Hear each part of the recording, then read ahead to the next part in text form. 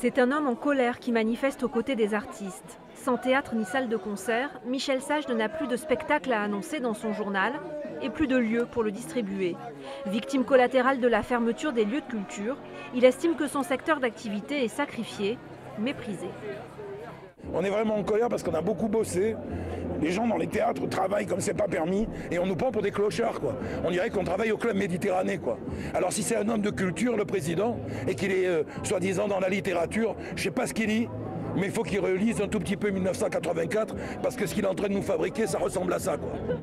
Jeudi dernier, quand le Premier ministre annonce que les salles de spectacle ne rouvriront pas le 15 décembre, Michel Sage ne vient de boucler son dernier numéro. Il doit renoncer à le publier. Aucune rentrée d'argent ce mois-ci et pourtant à côté des bénévoles, il faudra bien payer les salariés qui ont travaillé sur ce numéro fantôme. Là, c'est un peu juste pour y arriver. Puis c'est surtout que il faut garder, euh, ça fait une trentaine de pigistes. Comment manager tout ça? Je dirais la même chose que tous les chefs d'entreprise. J'ai l'impression que ce que je fais m'échappe. Je ne peux pas prévoir et je suis dépendant de gens qui ne savent pas prévoir. En 20 ans d'existence, la Strada n'avait jamais traversé une crise aussi dure.